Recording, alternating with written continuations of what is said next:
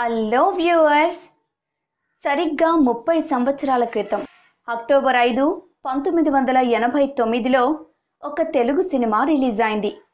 థియేటర్లో జనమంతా సైలెంట్గా సినిమా చూస్తున్నారు. కామన్గా హీరో ఇంట్రొడక్షన్ ఫైట్స్ సాంగ్స్ డైలాగ్స్కి విజిల్స్ వేస్తూ చప్పట్లు కొట్టే అప్పటి ప్రేక్షకులు ఏమీ మాట్లాడకుండా అలానే సినిమా చూస్తూ ఉండిపోయారు. నిర్మాత డిస్ట్రిబ్యూటర్స్ కంగారు పడిపోయారు. ఆడియన్స్ నుండి ఎలాంటి రెస్పాన్స్ లేకపోయేసరికి మూవీ ఫెయిల్ అనుకున్నారు.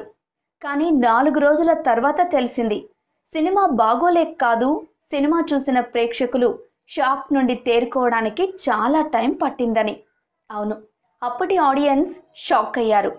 తెలుగు సినిమా అంటే ఒకే మూస పద్ధతిలో వెళ్తున్న ఆ రోజుల్లో హీరో ఇలా ఉండాలి హీరోయిన్ అలా ఉండాలి ఫైట్స్ సాంగ్స్ ఈ రకంగా ఉండాలి అని మైండ్లో ఫిక్స్ అయిన ప్రేక్షకులు ఒక్కసారిగా ఈ సినిమా చూసి షాక్ అయ్యారు. సినిమా ఇలా కూడా ఉంటుందా? అని ఆశ్చర్యపోయారు. తర్వాతి వంతు డిస్ట్రిబ్యూటర్స్ది. కలెక్షన్స్ రికార్డ్స్ ఈ రేంజ్లో ఉంటాయా అని. ఆ సినిమా పేరే Shiva. Trend setter path breaking ఇలా ఏ పేరు పెట్టుకున్నా ఆ సినిమాకు సరిపోవు. శివ ఇండస్ట్రీ హిట్ కాదు ఇండియా హిట్. శివ సినిమా కాదు చరిత్ర. క్రీస్తు పూర్వం క్రీస్తు శకంలాగా శివకి ముందు శివకి తర్వాత అని తెలుగు సినిమాని విడదీయచ్చు. కింగ్ నాగార్జునుని సౌత్ ఇండియన్ సూపర్ స్టార్ని చేసిన శివ గురించి మైండ్ బ్లోయింగ్ రికార్డ్స్ గురించి చాలా ఇంట్రెస్టింగ్ ఫ్యాక్ట్స్ గురించి ఇప్పుడు తెలుసుకుందామా? Welcome to Sky Dream.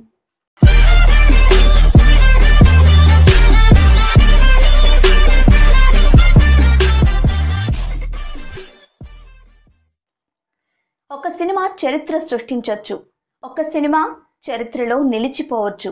కానీ ఒక సినిమాయే చరిత్ర అవటం శివకే చెల్లింది. ఆ చరిత్రకి శ్రీకారం పంతొమ్మిది వందల ఎనభై ఏడులో మొదలైంది. రామ్ గోపాల్ వర్మ మొదటిసారి నాగార్జునని కలిసింది పంతొమ్మిది వందల ఎనభై ఏడు. కలెక్టర్ గారి అబ్బాయి షూటింగ్ టైంలో. ఆ మూవీకి అసిస్టెంట్ డైరెక్టర్గా పనిచేసిన వర్మకి నాగార్జునతో క్లోజ్నెస్ ఏర్పడింది.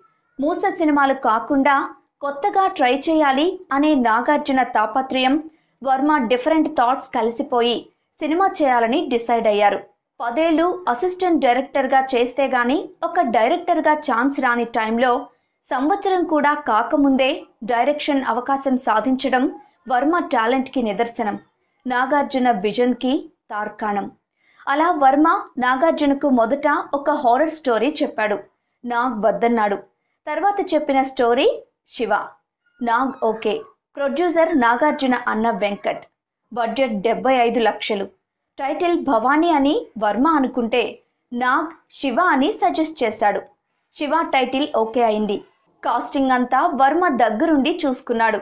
జేడి చక్రవర్తి ఉత్తేజ్ రామ్ జగన్ లాంటి కొత్త వారికి అవకాశం ఇచ్చాడు వర్మ. సంగీత దర్శకుడిగా కీరవాణిని అనుకుని ఆయన బిజీగా ఉండటంతో ఇళయరాజాని తీసుకున్నారు. విలన్ రఘువరన్ ఇరవై రోజుల పాటు రియల్ డాన్స్ రౌడీ షూటర్స్తో కలిసి వాళ్ళ బాడీ లాంగ్వేజ్ ఎక్స్ప్రెషన్స్ని అబ్జర్వ్ చేశాడు. అలా డెబ్బై ఐదు లక్షల బడ్జెట్తో ఫిబ్రవరి పదహారు పంతొమ్మిది వందల ఎనభై తొమ్మిదిలో శివ సినిమా షూటింగ్ ప్రారంభమైంది. షూటింగ్ అంతా ఎక్కువ శాతం హైదరాబాద్లోనే చేశారు.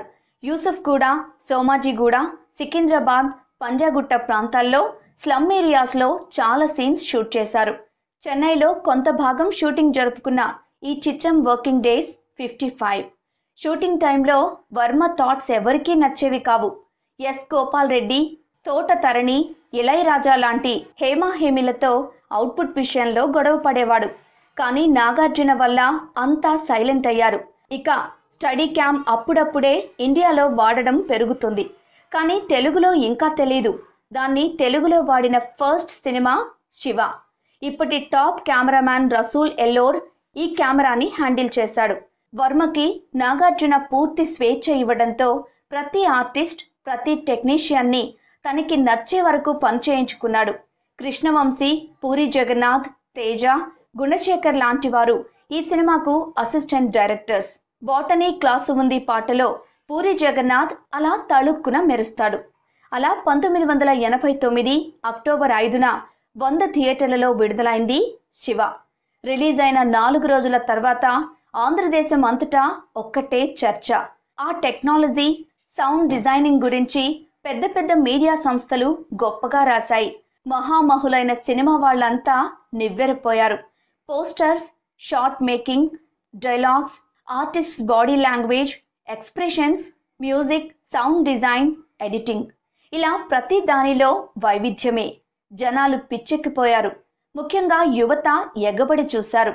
అనఫీషియల్గా కాలేజెస్కి హాలిడేస్ ఇచ్చేశారు. కుర్రాళ్ళంతా సైకిల్ చైన్స్ పట్టుకుని రోడ్ల మీద తిరగసాగారు. నాగార్జునలాగా చొక్కా చేతులు భుజం పైకి మడిచి కాలర్ పైకి లేపి స్టైలిష్గా నడిచేవారు.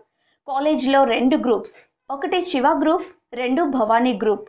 యువత మీద అత్యంత తీవ్రంగా ప్రభావం చూపిన సినిమా శివ తప్ప చరిత్రలో ఇంకే సినిమా లేదు.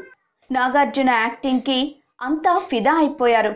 అప్పటి వరకు హీరోలో సూపర్ పవర్స్ చూసిన ప్రేక్షకులకు రియలిస్ట్ యాక్టింగ్ ఏంటో నాగార్జున చూపించాడు. Cycle chain fight cycle chasing లాంటి సీన్స్ కుర్చీలో కూర్చొనివ్వవు. ఈ సినిమాతో యూత్ అంతా నాగార్జున ఫ్యాన్స్ అయిపోయారు. సౌత్ ఇండియా సూపర్ స్టార్గా కీర్తింపబడ్డాడు నాగార్జున. నంబర్ వన్ హీరో అంటూ దేశవ్యాప్తంగా న్యూస్ వచ్చాయి. ఇక వర్మ పేరు దేశమంతా మారుమోగిపోయింది. అసలు ఎక్స్పీరియన్స్ లేకుండా ఒక వండర్ క్రియేట్ చేశాడు వర్మ. ఇందులో నటించిన నటులు పనిచేసిన టెక్నీషియన్స్ అందరికీ నేషనల్ వైడ్ ఫేమ్ వచ్చింది. శివ సినిమా ఎంతోమంది నటులు టెక్నీషియన్స్ ఇండస్ట్రీకి రావడానికి దారి చూపింది. కొన్ని వేల మందికి ఇన్స్పిరేషన్ శివ. రాజమౌళి వినాయక్ సుధీర్ వర్మ శ్రీనువైట్ల కన్నడ ఉపేంద్ర లాంటి ఎంతోమందికి శివ ఉత్తేజాన్నిచ్చింది. పూరి జగన్నాథ్ శివనాగేశ్వరరావు గుణశేఖర్ తేజ కృష్ణవంశీ లాంటి డైరెక్టర్స్కి ఊపిరినిచ్చింది.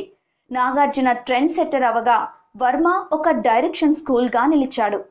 ఇక బాక్స్ ఆఫీస్ విషయానికొస్తే కలెక్షన్స్ రికార్డ్స్ హౌస్ఫుల్స్ అంటే ఏంటో కళ్ళు చెదిరే విధంగా కళ్ళకు కట్టినట్లు చూపిన సినిమా శివ. మొదటి వారం డెబ్బై లక్షలు వసూలు చేసిన శివ ఫుల్ రన్తో ఆరు కోట్ల వరకు షేర్ వసూలు చేసింది. నైజాం ఏరియాలో ముప్పై లక్షలు చేసిన సినిమాలు ఇండస్ట్రీ హిట్స్గా పిలువబడుతున్న ఆ రోజుల్లో కోటి రూపాయలు కలెక్ట్ చేసిన శివ సినిమాని ఏమనాలో మీకే వదిలేస్తున్నాం. ఈ సినిమా సృష్టించిన వాటిని రికార్డ్స్ అనకూడదు చరిత్ర అనాలి. కేవలం హైదరాబాద్ వైజాగ్ విజయవాడ గుంటూరు లాంటి నాలుగు సెంటర్స్లోనే కోటి రూపాయలు వసూలు చేయటం మామూలు ఫీట్ కాదు. వైజాగ్ జగదాంబ హైదరాబాద్ దేవిలో వంద రోజులకు పైగా హౌస్ఫుల్ సై చరిత్ర సృష్టించింది. ప్రతి సెంటర్లో ఒక బెంచ్ మార్క్ క్రియేట్ చేసింది. ఇరవై రెండు కేంద్రాల్లో డైరెక్ట్గా వంద రోజులు ఆడిన ఈ సినిమా పది సెంటర్స్కు పైగా నూట ఇరవై రోజులు ఆడి అప్పట్లో ఆల్ టైమ్ రికార్డ్ క్రియేట్ చేసింది. సింగిల్ థియేటర్లో ముప్పై లక్షలు వసూలు చేసిన మొట్టమొదటి ఇండియన్ సినిమా షోలే. మొట్టమొదటి south Indian movie Shiva. One seventy five డేస్తో record సృష్టించే ఛాన్స్ ఉన్న ఐదు సెంటర్లలో నూట యాభై రోజుల తర్వాత వేరే సినిమాల కోసం శివ సినిమాని తీసేశారు. తమిళ్ళో డబ్బైన శివ అక్కడి రజనీకాంత్ రికార్డ్స్ బ్రేక్ చేయడం చర్చనీయాంశమైంది. రెండు పాయింట్ ఐదు కోట్లు తమిళ్ళో వసూలు చేసింది శివ. ఈ రికార్డ్ అరుంధతి వచ్చే వరకు ఇరవై సంవత్సరాలు అలానే ఉండిపోయింది. కేరళలో కన్నడలో కూడా బ్లాక్ బస్టర్ అయిన శివ సినిమా టోటల్ కలెక్షన్స్ పదకొండు కోట్లు. పంతొమ్మిది వందల తొంభై ఆరులో నిన్నే పెళ్ళాడతా వరకు కూడా ఈ షేర్ని ఏ సినిమా టచ్ చేయలేకపోయింది. డబ్బింగ్ మూవీస్ చరిత్రలో ఎప్పుడూ లేని రికార్డ్ సృష్టించి ఆ తర్వాత హిందీలో రీమేక్ అయి అక్కడ బ్లాక్ బస్టర్ అయింది. అలా ఇండియా అంతా అల్లాడించింది శివ. ఈ సినిమాకు నంది అవార్డ్స్ ఫిల్మ్ఫేర్ అవార్డ్స్ మిగతా అన్ని రకాల అవార్డులు లెక్కలేనన్ని. కానీ శివ సినిమాని అవార్డ్స్తో కొలవాలనుకోవడం అతిపెద్ద అమాయకత్వం. కొన్ని ఇంటర్నేషనల్ ఫిల్మ్ ఫెస్టివల్స్లో మొట్టమొదటిగా ప్రదర్శించబడిన చిత్రం శివ. సిఎన్ఎన్ ఐబిఎన్ వారు all time hundred Indian film లిస్ట్లో శివ సినిమా ఒకటి. సమాజంపై ప్రభావం చూపిన టాప్ మూవీస్ ఏవి అంటే టక్కున మొదట గుర్తొచ్చే సినిమా శివ. శివ సినిమా తర్వాత నాగార్జున రెమ్యూనరేషన్ డెబ్బై ఐదు లక్షలు. అప్పటికి సౌత్ ఇండియాలో ఎవ్వరికీ అంత లేదు. ఈ మూవీ తర్వాత ఇండియన్ సినిమా మేకింగ్లో పెను మార్పులొచ్చాయి. తెలుగు సినిమా ఖ్యాతి దేశవ్యాప్తం చేసిన సినిమా శివ.